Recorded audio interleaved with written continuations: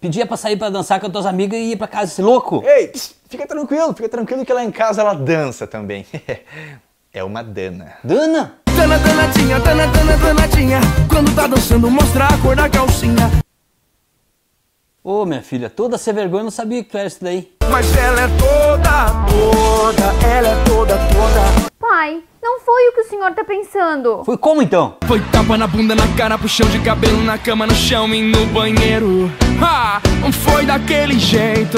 Como é que é? Comigo é assim, na para, para, para, para. Comigo é assim, na para, para, para, para. Eu vou te arrochar! Tu fez tudo isso pro meu pai não gostar de ti. Por quê? Não quero me casar. Tu vai casar assim com ela, eu vou fazer tu sofrer. Sofrer? Ou tu casa, ou vou te arrochar em dois.